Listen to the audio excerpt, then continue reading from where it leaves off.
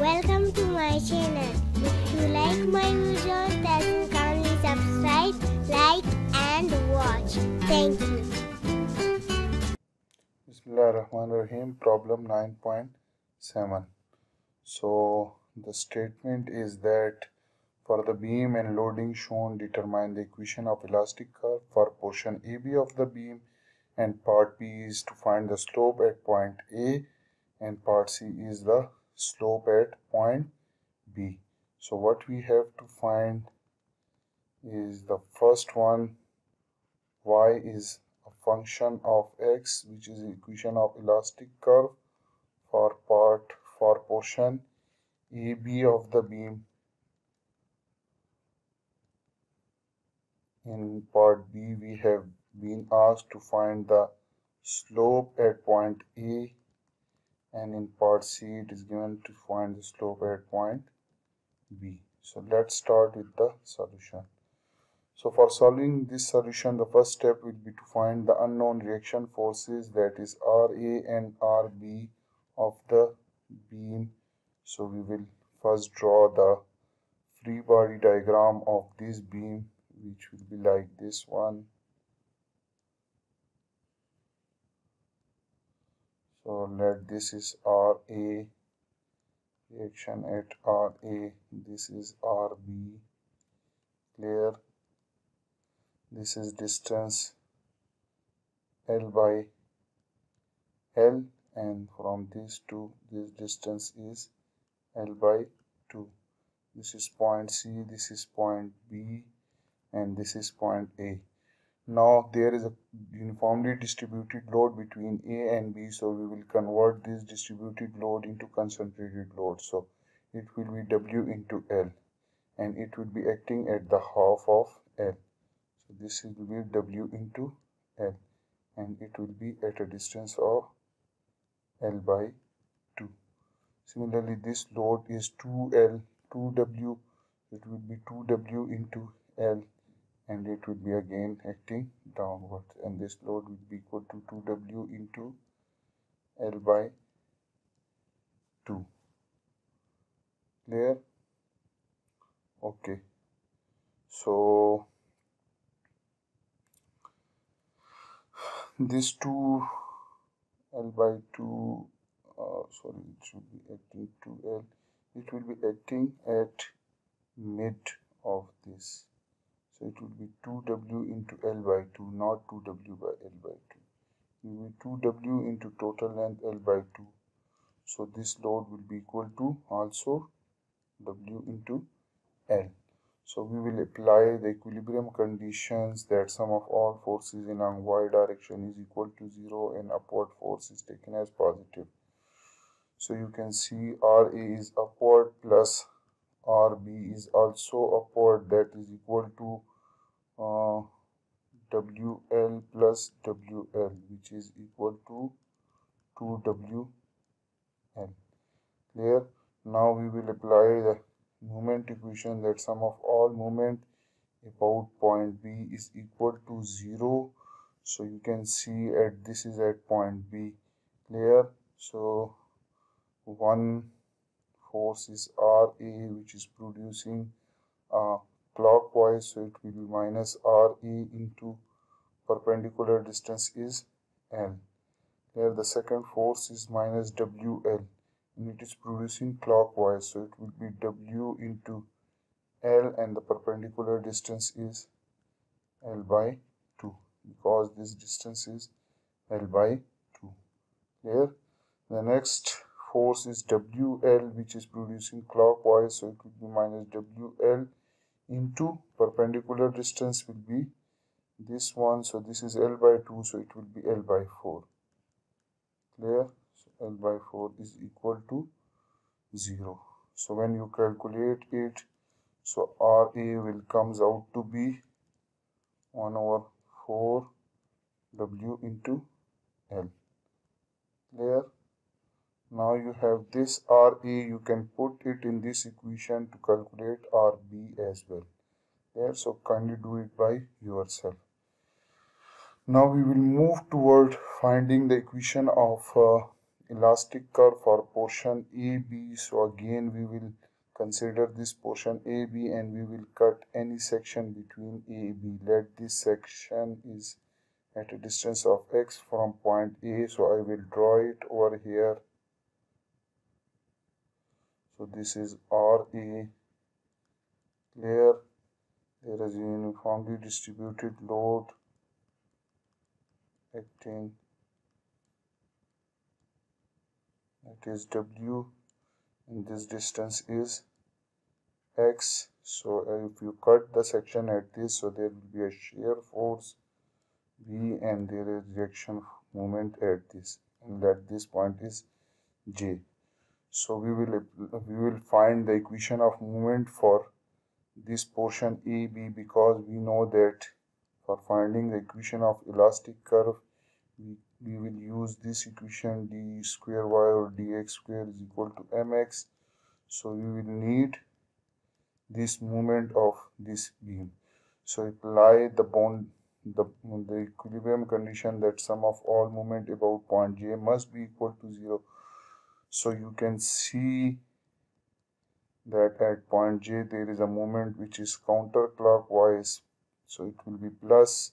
Now due to this distributed load when you will convert it to point load it will be minus w into x. As it is acting downward so it will also produce clock counterclockwise so it will be positive.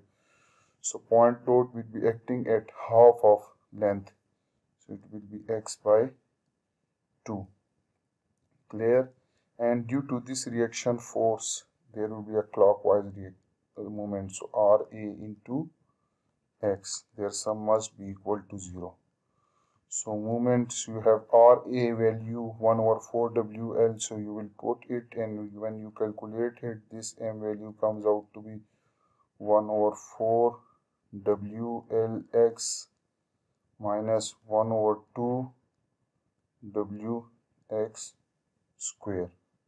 So this is the bending moment equation for portion AB so we will put this equation in this E is equal to EI into d square y over dx is equal to m of x. So when you will put it so it will be equal to EI into d square y over dx square will be equal to 1 over 4 WLX minus 1 over 2 WX square.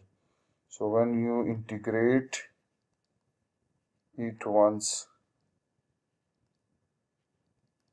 it will be equal to ei into dy by dx is equal to 1 over 8 wlx square minus 1 over 6 wx cube plus C1. Now this is unknown constant and that can be found by using the boundary condition. So we will apply the boundary condition at x is equal to 0, y is equal to 0. Clear? Uh, sorry, not this. We will apply it later. Clear? Now, uh, give it over here again integrate this equation again integrate it when you integrate this equation it will be equal to ei into y is equal to 1 over 24 wlx cube minus 1 over 24 wl wx square sorry 1 over 24 wlx cube wx 4 plus c1x plus c2 clear now you can see this is the equation of for finding the deflection and this is equation for finding slope but here there is C1 and there is C1 and C2 which are unknown and can be found by using boundary condition. so if you go back to the beam you can see that you can apply the boundary condition that at x is equal to 0 at x is equal to 0 we have y is equal to 0 and at here at x is equal to L y is again 0 so we will use this boundary condition in order to find the slope and deflection. So one we have at x is equal to 0 y is equal to 0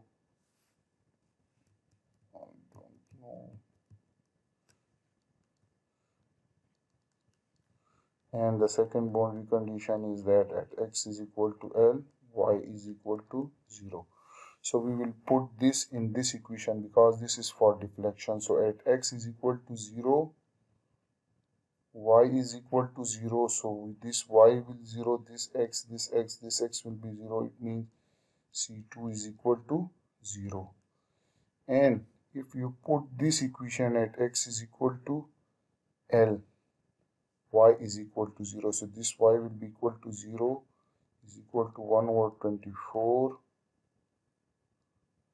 wl this is l cube minus 1 over 24 wl 4 plus c1 was 0 so it will be 0 plus no c uh, plus c2 c2 is 0 plus c1 into l so again this will be L4 so this term will be cancelled with this one. So C1 will be also equal to 0 now you can put C1 and C2 in this equation. So you will get EI into Y is equal to 1 over 24 WL x cube minus 1 over 24 WX 4 clear and again when you divide ei on both sides so you will get y is equal to w over 24 ei into lx cube minus x 4 which is is required equation of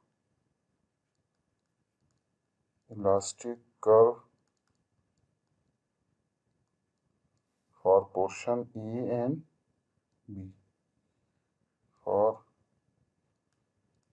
portion AB. So this was our first part. Now we will move toward the first part in the first in the second part it was given that you have to find the deflection sorry slope. Slope at point E. Clear? So where is the equation of slope? This is the equation of slope. If you put c1 is equal to 0 clear? So slope at x is equal to 0 because point A is at x is equal to 0 so when you put x is equal to 0 so dyb when you put this in this equation equation of slope. So x is equal to 0 so this term will be 0 this term will be 0 and this ei into d theta. I will write ei into d theta sorry not d theta ei into theta.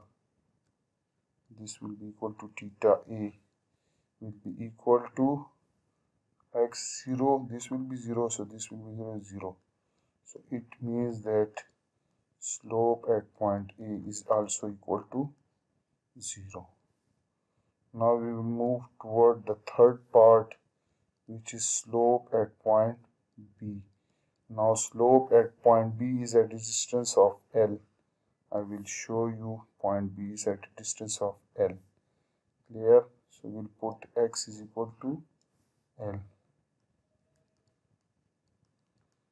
and when you put this x is equal to L in again the same equation this so we will get EI into dy by dx which is actually theta equal to 1 over 8 wl into l square minus 1 over 6 w l q clear and if you further simplify it it will be equal to dy by dx will be equal to theta is equal to 1 over 8 ei into wl cube minus 1 over 6 ei wl cube. So further this will be equal to theta b so theta at point b will be equal to minus wl cube over 24 e i. Now this minus show that at point b the slope is clockwise. Clear? So this was all about problem 9.7 i hope you have learned this problem that how to solve such type of problems. And if you like my videos kindly subscribe my channel as well as share it with your friends. Thank you